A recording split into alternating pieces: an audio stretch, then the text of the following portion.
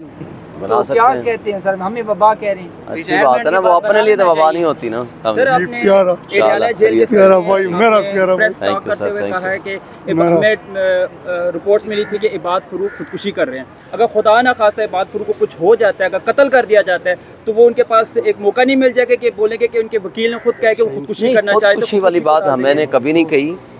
उसको उसने इन हालात से मायूस होकर अपने सर पे मारने की कोशिश की। कोशिश करते हुए हसान न्याजी ने शोर मचाया जो हमारी इन्फॉर्मेशन थी। हमारी एग्जैक्ट इन्फॉर्मेशन तो हमारे पास नहीं हो सकती ना जो हमें बताया गया। लेकिन असल उससे ज़्यादा प्रॉब्लम यह है कि उस सेल में वो दोनों अशास मौजूद नहीं हैं। और फैमिली को मिलने की इजाज़त नहीं है। तो लिहाजा हम ये कहते हैं कि फ़ैमिली को मिलाने की इजाज़त होनी चाहिए जो सुप्रीम कोर्ट का हुक्म है।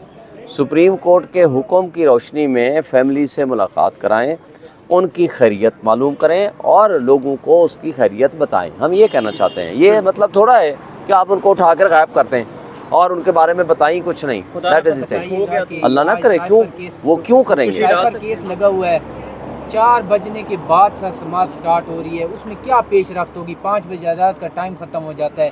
क्या कहेंगे सर? ये मेरी गुजारिश है चीफ जस्टिस से इसको सुबह साढ़े नौ बजे फिक्स किया जाए। बाकी केसेस को दो तीन दिन के लिए पेंडिंग कर दें। इस केसेस को एक दिन या दो दिन में फाइनली डिसाइड कर दिया जाए। यही इसका हल है क्योंकि अगर आप साढ़े तीन या चार बजे केस का स्टार्ट करेंगे तो फिर दार एंडलेस ये एक मैटर होगा और जल्दी डिसाइड नहीं हो पाएगा। सर क्या आप आज कहेंगे साइफर केस के ऊपर जो देखिए अभी आर्गूमेंट स्टार्ट हुए हैं उनके पास कोई रीजनिंग नहीं है उनके पास कोई वजह नहीं है कि आप इस साइफर केस की बुनियाद ही गलत है। ये केस बनाना ही ग़ुलामी की बदतरीन मिसाल कायम करना है। इमरान खान, जिसने इस मुल्क की सलामती और ख़ुद मुख्तारी का दिफा किया, उसको आपने मुजरम बना दिया। जिसने कहा था, Shehbaz Sharif beggars are not choosers. जिसने कहा था, ख्वाजा आसिफ ने, जिसको डिफेंस मिनिस्टर बना दिया गया, कि अमेरिका हमारा वेंटिलेटर है। आज इन मैं कठपुतलियों से पूछता हूँ, मुझे ये बताएँ कि जब आपको मिज़ाइल प्रोग्राम के हवाले से चार कंपनियों पे पाबंदी लगी है तो आप क्यों नहीं बोल रहे? वो आपका वेंटिलेटर क्यों ख़राब हो गया? और आपका वो जो आपका वो आका है वो कैसे आपसे नाराज़ हो गया? असल बात यह है कि ग़ुलामों की कोई औकात नहीं होती। ग़ुलामों को ग़ुलामों की तरह ट्रीट किया जाता है। जब ये ग़ुलामी कबूल करते हैं तो वो आका बन के इनके साथ बिहेव करते हैं। लेकिन जब इमरान ख़ान के साथ बिहेव करते हैं तो इमरान ख़ान एब्सोल्युटली नाट कहता है। अपने मुल्क की और सलामती और ख़ुद मुख्तारी का दिफा करता है।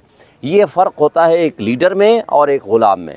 अच्छा शुएब शहीन साहब, कल बताइएगा, कल इलेक्शन हुए हैं और अफनानुल्लाह साहब ने बयान दिया है कि 8 फरवरी को हमें हराने की कोशिश की गई थी तो जो कल के इलेक्शन से साबित हो गया है, क्या कहेंगे आप? देखें अफनानुल्लाह साहब झूठ बोल रहे हैं, मेरा नहीं ख्याल कि वो सच बोल रहे हैं, उनको भी अंदर से पता है। वो एक बादशाह ऊपर बैठा हुआ है, उसने वायसराय और अपने कारिंदे नीचे छोड़े हुए हैं, और उनके कारिंदों में ये रिटर्निंग ऑफिसर्स भी शामिल हैं, और इलेक्शन कमीशन भी जिस तरह जराइम की आमाजगाह बना हुआ है और इन सारे जराइम को प्रोटेक्शन और शेल्टर दे रहा है, ये सारी दुनिया ने देखा। मुझे बताएँ, वहाँ जो साफ़ियों के साथ बिहेव हुआ, मुझे बताएँ, आप मेरा इंटरव्यू कर रहे हैं, आपको उठा के ले जाएँ। ये कहाँ का जुर्म है इंटरव्यू करना और इंटरव्यू कराना? आप मुझे बताएँ साफ़ियों का क्या कसूर था या कैमरामैन का क्या कसूर था? उनको उठा के ले गए। इसी तरह वो सामने, सबकी आँखों के सामने प्रिजाइडिंग ऑफिसर की स्टेटमेंट उठा लो कि जी वो डब्बे लाए ला करके उसमें वोट लाए पता नहीं कि आठ, नौ सौ, हज़ार है, अठारह सौ कितना है, वो डब्बू में डाल दिया ज़बरदस्ती। मुझे बता दें, अगर ये इलेक्शन था तो इस इलेक्शन से कराने की ज़रूरत क्या थी? इसका साफ़ सुथरा तरीक़ा तो आसिफ अली जरदारी ने निकाला। उसने कहा, मेरी बेटी गर्मियाँ हैं, वो किसी जगह वोट मांगने ना जाए। उन्होंने सारे बंदे उठाए अनअपोज करा दिया। आप इसी तरह का कोई इलेक्शन कमीशन के तरह सबको आप एक नोटिफिकेशन करते हैं। सारे नाअहल सिर्फ़ पी एम एल एन के लोग जो है, वो अहल। हमारे साथ पहले भी यही किया था 2008 आठ अक्टूबर फरवरी वाले इलेक्शन में आपको याद होगा, मेरे समेत 90 परसेंट हमारी जो टॉप लीडरशिप थी सब के जो कागजात थे, वो रिजेक्ट कर दिए थे। क्या हुआ था फिर उसका अंजाम? फिर हम हाईकोर्ट में आए, हमारे कागजात बहाल हुए। लेकिन इन कठपुतलियों के पास ना कोई प्लान है, ना कोई प्रोग्राम है ना ही ये इस मुल्क को बेहतरी की तरफ़ ले जाना चाहते हैं।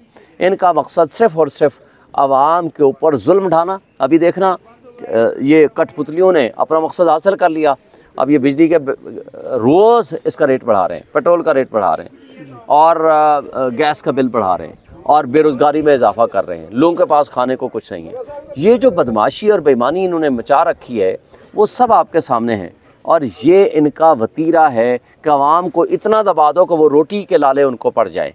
और ये इसी मकसद के लिए ये सारी हरकतें की जा रही हैं। मालूम था कि आठ फरवरी वाला ही काम होना है तो फिर बाइकाट क्यों नहीं किया गया इलेक्शंस का? देखें वही ये चाहते हैं हम बाइकाट कर जाएँ। हम इस गंदे निज़ाम को नंगा करके इस चौक चौराहे में लाना चाहते हैं। हम जितना इनको गंदा करेंगे नंगा करेंगे एक्सपोज करेंगे पब्लिक में इनके ख़िलाफ़ मज़ीद नफ़रत फैलेगी। लोग उठेंगे अवामी इनकलाब तो आ चुका है। आठ फरवरी को क्या था? ये अवामी इनकलाब था। अवामी इनकलाब के रास्ते में जो लोग रुकावटें पैदा कर रहे हैं अब उन लोगों के ख़िलाफ़ लोग खड़े हो उठ खड़े होंगे। फाइजी साहब को जो लेटर लिखा गया खान साहब की तरफ़ से उसमें एक मेन पॉइंट था एक्सटेंशन वाला फाइजी साहब की तीन साल की जो एक्सटेंशन हो रही है वो पॉइंट बिल्कुल ही डिटेक्ट कर दिया कि खान साहब की तरफ़ से हदायतें थी वो किसने डिटेक्ट किया कट किया पूरा पॉइंट अब ये अनइंटेंशनल गलती भी हो सकती है लेकिन मेरा ख्याल है कि आप नया लेटर जाएगा और in continuation of the previous letter और इसको हाईलाइट किया जाएगा। आईएमएफ के लेटर पे भी खफा हुए थे कि रात साहब मैंने खबर पॉइंट्स पढ़ी बोले थी, थे ये इंटेंशनली कौन मिस्टेक्स कर रहे हैं? ये क्यों अपने घुस बैठे हुए हैं जो मस्तियाँ कर रहे हैं इस तरह? मेरे पास तो ये अख्तियार नहीं है कि मैं इंक्वायरी के बगैर किसी का नाम ले दूँ। क्योंकि शुक्रिया। चुकी वो शुक्रिया। जो लिखा गया था उसमें भी हुई है। Thank you